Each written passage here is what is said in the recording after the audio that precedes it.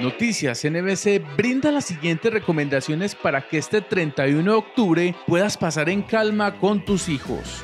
Primero, no dejes a los niños solos en ningún momento, ve con ellos a pedir dulces y ante todo no dejes a tu niño a cargo de personas extrañas. 2. Siempre pendiente de sus hijos. Recuerde que en esta fecha puede perder fácilmente de vista a sus niños, ya que habrán otros que pueden estar disfrazados de igual forma y puede generar confusión. 3. No permitas que tu hijo interactúe con personas extrañas y más si no está a tu supervisión. 4. Informa a la policía cualquier situación que ponga en riesgo a los niños y niñas y a adolescentes. 5. Enseña a tus hijos que en caso de que se pierdan, vayan directamente con la policía u otros entes de control que ayudarán a encontrar sus respectivos padres. 6. Revisa los dulces que consumen sus hijos.